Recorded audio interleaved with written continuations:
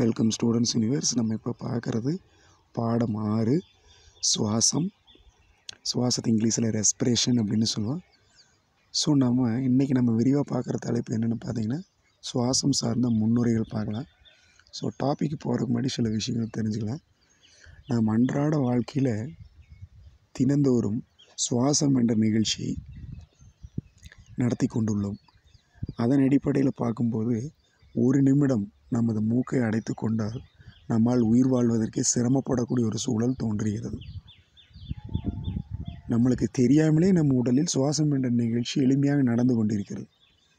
இந்த சுவாசம் எதற்கு தேவை? ஏன் நம் உடலில் நடைபெறுகிறது? இதனால் நம்மளுக்கு என்ன நன்மை? அப்படிங்கிறத பற்றி இந்த லெசனை பார்க்கலாம். வாங்க உள்ளே போகலாம் பொதுவாக நாம் உண்ணும் உணவும் எந்நாளும் சுவாசிக்கும் காற்றும் உயிர் வாழ்வில் முக்கியமானவை. அன்றாடம் தினந்தோறும் உணவும் தேவை கூடவே தினந்தோறும் சுவாசமும் தேவை. இந்த இரண்டும் உயிர் வாழ்வில் மிக முக்கியமான அம்சங்கள்.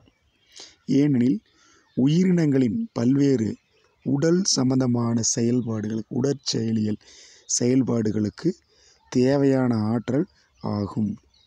உடற்செயலியல் நிகழ்ச்சிகளுக்கு தேவையானது ஆற்றல். அவைகளின் உடம்பின் உள்ளே ஆற்றல் உற்பத்தியாகக்கூடிய அந்த வளர்ச்சி மற்றும் பல்வேறு செயல்பாடுகளுக்கு ஆற்றல் என்ற ஒரு அம்சம் மிக முக்கியமான ஒன்று. அந்த ஆற்றல் என்பது உடலே ஆட்டி வைக்கக்கூடிய ஒரு முக்கியமான அம்சம். அவ்வாற்றல் எங்கிருந்து வருகிறது? அடுத்த கேள்வி வினா அதுதான். நம்ம உடலுக்கு ஆற்றல் தேவைப்படுகிற அந்த ஆற்றல் எங்கிருந்து வருகிறது? கூடவே நாம் சுவாசிக்கும் போதும் அதற்கு பின்னாடி சுவாசம் முடிந்ததற்கு பின்னரும் என்னதான் நடைபெறுகிறது நமது உடலில் அதுவும் தெரிஞ்சுக்கணும். ஸோ மேற்கண்ட வினாக்கள் அனைத்துமே ஒன்றுக்கொன்று தொடர்பு இல்லாத கேள்விகளாக தோன்றும்.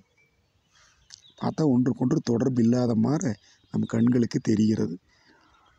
அவ்வாறு தெரிந்தாலும் கூட சுவாசத்திற்கும் உணவின் மூலம் ஆற்றல் உருவாக்கப்படுவதற்கும் இடையே உள்ள பிணைப்பை அறிந்து கொள்வது தேவை. சுவாசத்திற்கும் உணவிலிருந்து ஆற்றல் தோன்றுகிறதல்லவா? உற்பத்தி ஆகிறதல்லவா? அவைகளுக்கும் இடையே உள்ள இணைப்பு பிணைப்பை நாம் கண்டிப்பாக தெரிஞ்சு வச்சுருக்கணும்.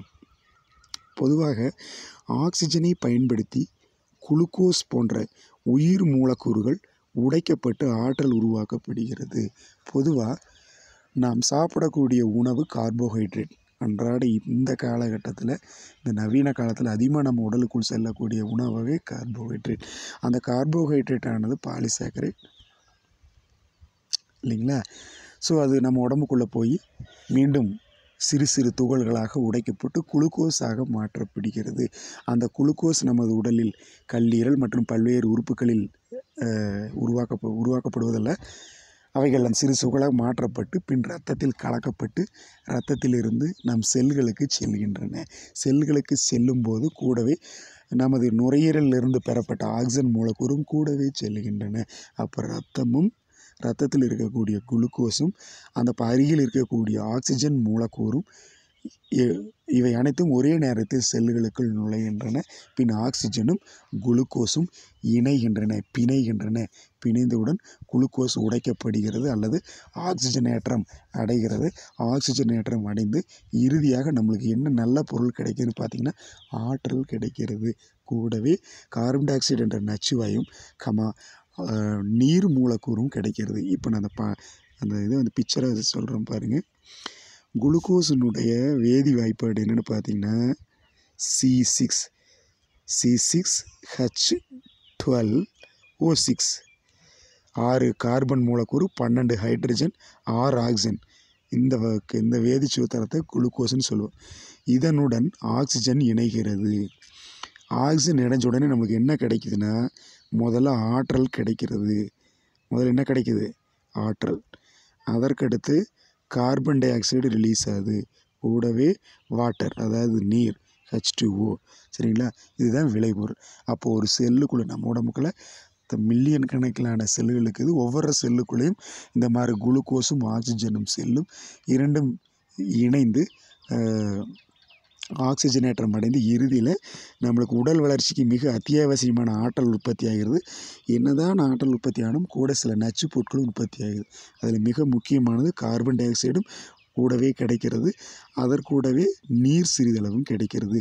ஸோ இந்த வினை தான் ஒரு செல்லுக்குள்ள நடைபெறுகிறது. இந்த முழு வினையை நம்ம வந்து வளர்சிதை மாற்றம்னு சொல்லுவோம். இந்த நிகழ்ச்சி நடந்தால் தான் நமது செல்களும் உடல் உறுப்புகளும் நன்றாக இயங்கும். ஸோ அப்போ ஆக்சிஜன் ஒரு செல்லுக்குள்ளே தொடர்ச்சியாக போயிட்டு இருக்கு இல்லைங்களா? கண்டிப்பாக செல்லுக்குள்ளே போகணும். அதே வேளையில் இந்த கார்பன் டை ஆக்சைடு இருக்கு இல்லைங்களா? இந்த கார்பன் டை ஆக்சைடு உடனடி இது ஒரு நச்சு வாயு.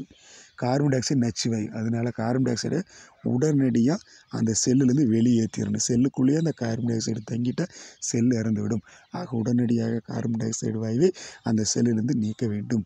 ஓகே. அப்போ ஒரு செல்லுக்குள் ஆக்சிஜன் உடனடியாக செல்வதும் அந்த செல்லுக்குள்ளிருந்து நச்சு வாயுவை கார்பன் டை ஆக்சைடு உடனடியாக அங்கிருந்து வெளியேற்றப்படுவதும் ஒரு தொடர்ச்சியாக நடக்கக்கூடிய ஒரு அற்புதமான நிகழ்வு.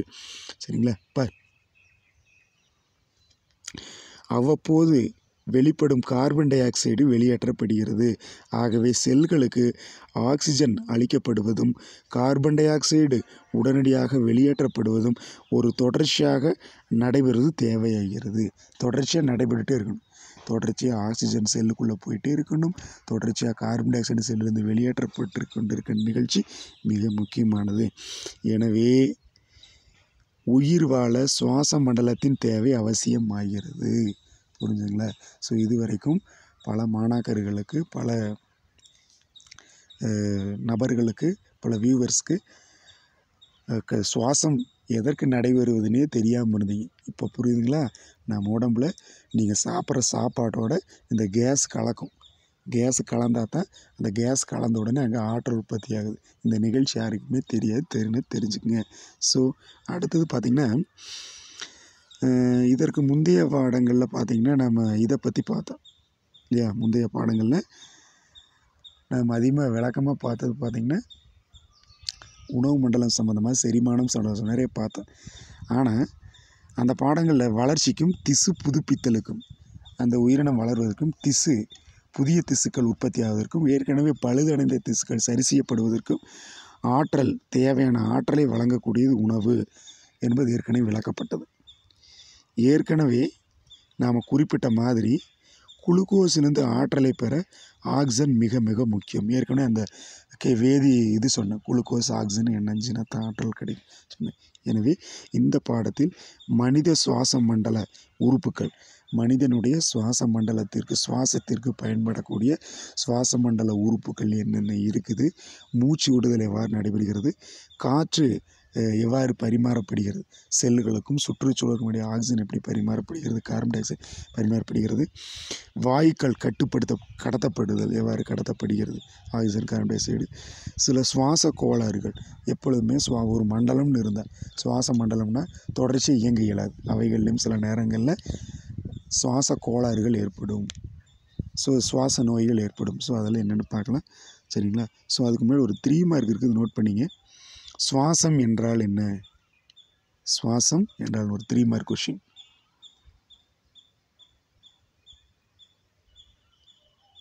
சுவாசம் என்றால் என்ன? பொதுவாக வளிமண்டலத்திலிருந்து ஆக்சிஜனை உள்ளிழுத்து கொண்டு அதே வேளையில் நுரையீரலிருந்து கார்பன் டை ஆக்சைடை வளிமண்டலத்திற்கு வெளியேற்றுவதும் உள்ளிழுக்கப்பட்ட ஆக்சிஜனானது நொதிகள் உதவியை பயன்படுத்தி செல்களில் உள்ள கரிம உணவோட்டப் பொருட்கள் அதாவது குளுக்கோஸ் போன்ற உணவோட்டப் பொருட்களை சிதைத்து ஆற்றலை வெளிப்படுத்தலும் சுவாசம் எனப்படும். சுவாசலை வெளிப்படுத்தக்கூடிய நிகழ்ச்சி சுவாசம் எனப்படும். அப்போ நம்மளுடைய நுரையீரலுக்குள்ளே ஆக்சிஜன் வந்தால் மட்டும் பத்தாது. அங்கிருந்து செல்களுக்குள்ளே சென்று அந்த குளுக்கோஸ் போன்ற கரிம உணவோட்டப் பொருட்களுடன் இணைந்து ஆக்சிஜனேற்றம் அடைந்து ஆற்றல் உற்பத்தி ஆகுது இல்லைங்களா? இப்படி மொத்த நிகழ்ச்சியும் சேர்ந்தது தான் சுவாசம்னு சொல்கிறோம் காற்றை உள்ளிழுத்தல் கார்பன் டை ஆக்சைடை வெளியேற்றுறது ஆக்சிஜன் உள்ளிழுக்கிறது இதோட சுவாசம் நடைபெறும் இல்லை சுவாசம் என்பது ரெண்டு நிகழ்ச்சி கலந்தது.